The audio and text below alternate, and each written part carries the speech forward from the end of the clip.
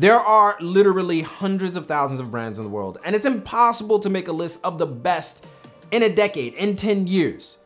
This is, there's so much criteria to consider. So instead, we'll list the ones that crushed it from the casual perspective and leave the rest up to you. So without further ado, here are the 10 brands of the decade from the casual that absolutely killed it in the 2010s. I'm your boy, Reggie Casual. Let's get it.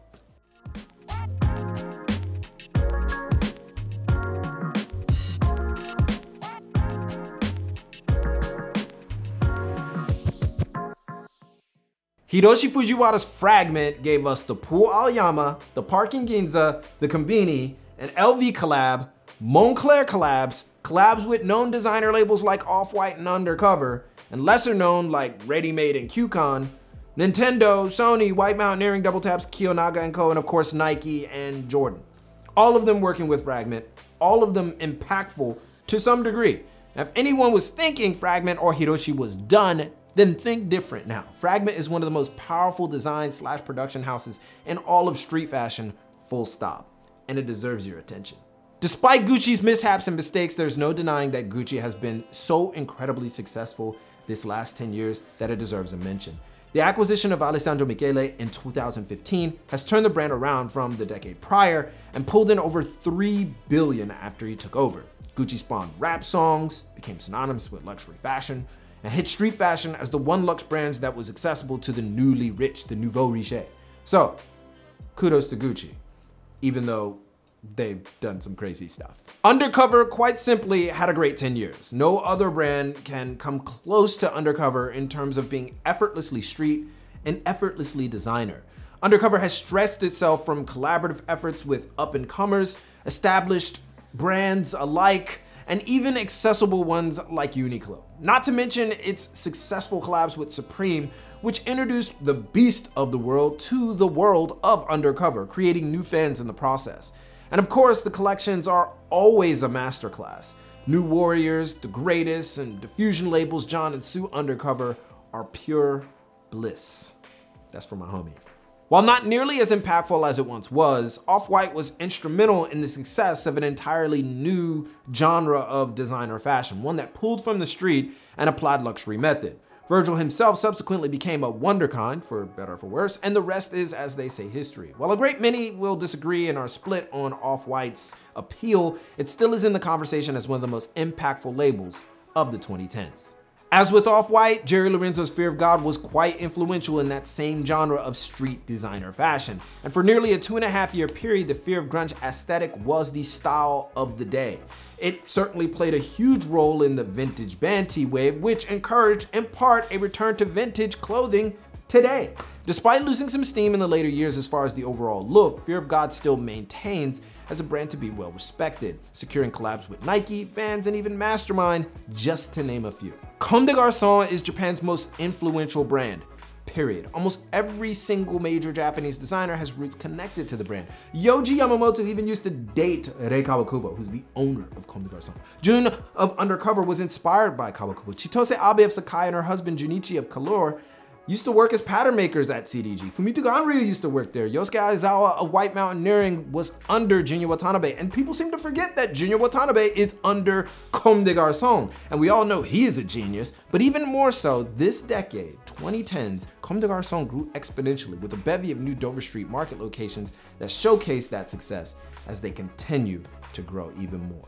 You could choose just one label under LVMH and you'd be fine, but why not just choose the whole conglomerate? The Arnauds have turned the group that owns Dior and Louis Vuitton into the fashion powerhouse of the world. Creative directors like Kim Jones and Virgil are shoe-ins, but the foresight to bring on Rihanna for her own Fenty line, pure genius. The first new line to be a part of LVMH's group in decades, and it is killing.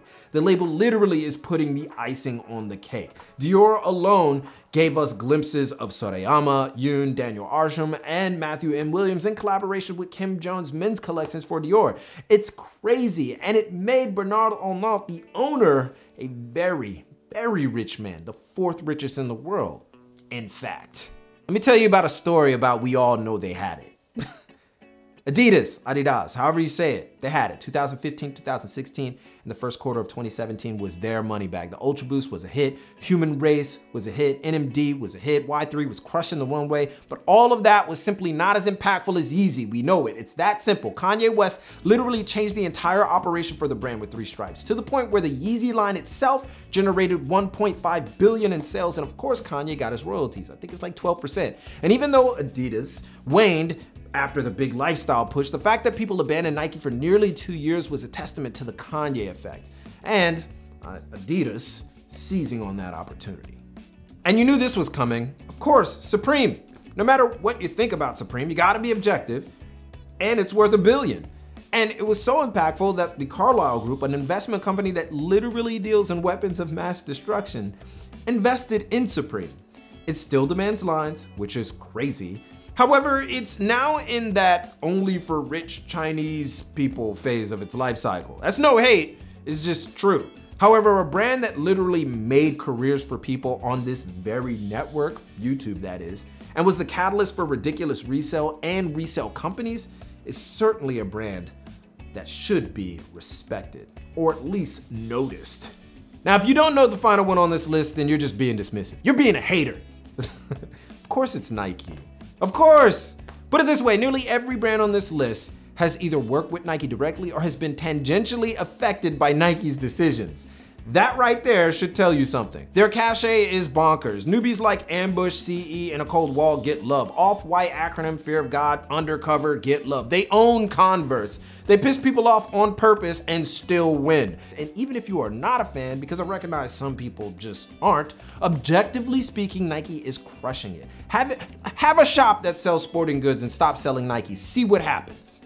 You go out of business, that's what happens. You know how we know this? Because it literally did happen. That's how much power Nike has. And that's why it's our brand of the 2010s. Oh, and they still got all those athletic endorsements like LeBron James, Ronaldo, and of course, Jordan. So yes, of course, Nike. Or Nike if you're from the UK. Of course, we gotta get some honorable mentions in. Kith, amazing growth, amazing collaborations. Greg Lauren was dope. Ambush, killing it with accessories. Goros, worldwide phenomenon now. Palace for having an amazing come up. Uniqlo, some people said Uniqlo, Uniqlo for going global and making it work. And Black Scale, I'm just joking. Not not Black Scale. Not Black Scale. But maybe Fashion Nova. Fashion Nova. Like what other brand in the world can we say attributed to the madness that we see on Instagram today? If not Fashion Nova. It's it's all them. So yeah, kudos to them, even though most of us would probably never even consider Fashion Nova. And if you do, that's on you, but buy vintage. It's probably better. So that's the brands of the 2010s for the casual, but that's not the end. What do you think? Which is probably more important. Did we miss anything? Do you disagree? Let it all be known in the comments. Give a thumbs up if you like this video. Follow us on Instagram for all the latest out of Japan and beyond. But most importantly, keep it locked right here for all of your info on international street fashion and culture from Tokyo. It's your boy, and keep it casual. Yoroshiku onegaishimasu. And I'll see you guys in a minute. That was fun. I enjoyed that one. There's so many brands. I probably, if I if I had to do it all over, I would say Visvim is definitely one of the brands of the decade. But I mean, there's too many.